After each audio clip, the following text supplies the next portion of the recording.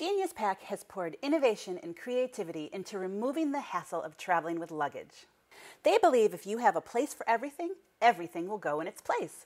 So they've designed features into luggage that you've never seen before. The 22 inch carry on has compartments for everything.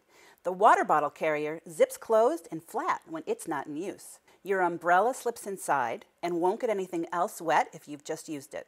There's a compartment for the extra battery charger, so you won't even have to take it out in the hotel room. The bag even has its own laundry chute, and it compresses air out so you can easily separate clean clothes from dirty ones. And if you're prone to forgetfulness, there's a handy packing list, and even an integrated toiletry case that comes off so you can store it in the hotel bathroom.